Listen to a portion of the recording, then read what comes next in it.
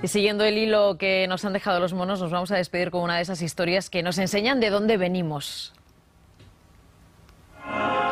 Este es un cachorro de tigre de un zoo de Tailandia y este es su vecino Dodo, un chimpancé. Y esta es la imagen que tiene deleitados a todos los visitantes del zoo. El mono dando el biberón a la cría de tigre.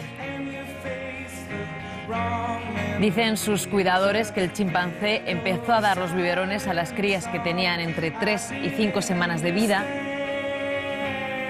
y después del biberón les entretiene durante horas y hasta que los felinos crecen y son trasladados a otro recinto por razones obvias.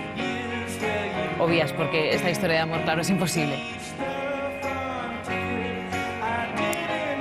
Así nos vamos a despedir por hoy y nos vemos otra vez mañana a las 8 de la tarde. Adiós.